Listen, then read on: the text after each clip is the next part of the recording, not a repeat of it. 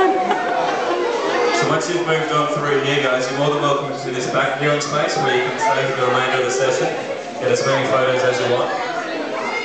We just do ask that this line does keep moving on. We do want uh, the people lining up in the sun over there, we want to them in